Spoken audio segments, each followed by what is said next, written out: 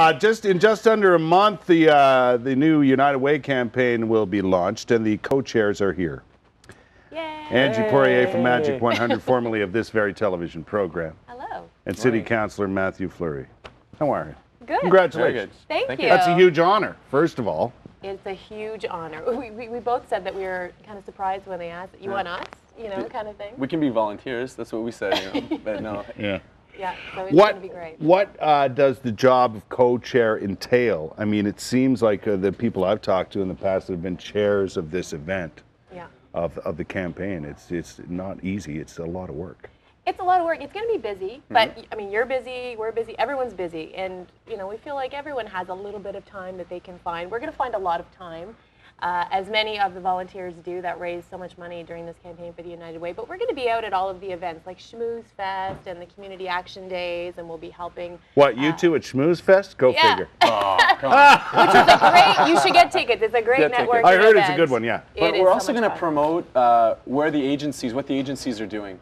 So the good news stories, what's making a difference in our community. Uh, we're going to have those posted on the United Way website, on Facebook, but also uh, try to promote uh, the outreach in our community. We'll Yeah. be going to all the campaign launches for the workplaces, the community campaigns. I Yeah. mean, there's so many workplaces that launch campaigns. The thing about the United Way is, in the end, it often looks like it's just about raising a big pile of money, but there's way more to it than that. And I think um, bringing out the community aspect of it and getting involved, Mm-hmm. Exactly. you know what I mean? For people to get involved is is even more important than the money aspect sometimes. Well, we have to take ownership of our own community, Mm-hmm. right? I mean, we we are the ones who are responsible for how it's run and how Yeah. well it runs. And you know, when you donate to this campaign, it's not about raising just a big pile of money and then No. just handing it out.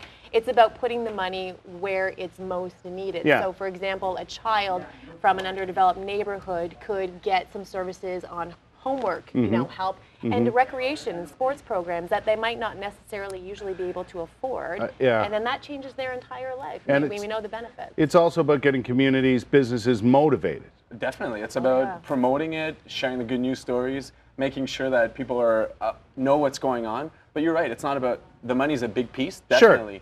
But the volunteer components and making sure that people are involved. I mean, 14,000 volunteers helped the United Way campaign. Yeah. And that's not counting all the agencies that are involved.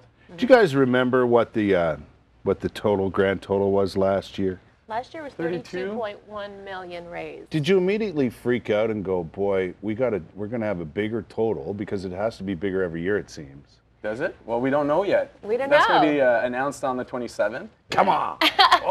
There is the the, Come the, on. the, the big launch Do you on worry September about that 27th. though? We are well, but I mean, our community's always come forward and being involved and uh, step up to the challenge. So we'll we'll see what the number is on the 27th. But we're excited. We're we're here to help, and we believe that the community is behind us. Yeah. Well, there certainly are. There's no question about that. But we're in a city with so many fundraisers and so much going on. Uh, I was talking to someone about this the other day. It's so tough to get, you know, to start a new event or to or to get people involved in that way because there's so much to do when it comes to volunteering.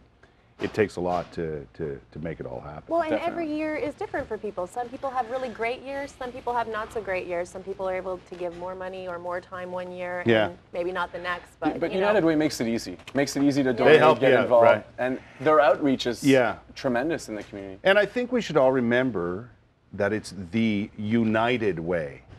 You know what I Yeah. mean? That's what it's all about. and, and we call it my United Way Yeah. because it really does belong to everyone in the Exactly. community. We, and like we said, we take ownership of our own community. By the way, um, Mathieu Fleury, city councilor, is currently training for uh, a big event. the Dancing with the Stars event that I participated in last year. You're in. I'm in. You're everywhere. I'm involved. I'm trying to make a difference. You're to be training involved. right now? I am. How's it going? Very. I'm very stiff in the knees and the the hips. Good luck, my friend. I'm going to be piggybacking him around all the events Yeah, no in doubt. the next And little you'll- while. It's a tough one, buddy. Yeah. Anyway, good luck to both of Thank you. you. And, Thank uh, you. We're excited. It's an exciting, exciting uh, thing to be a part of, no question about it.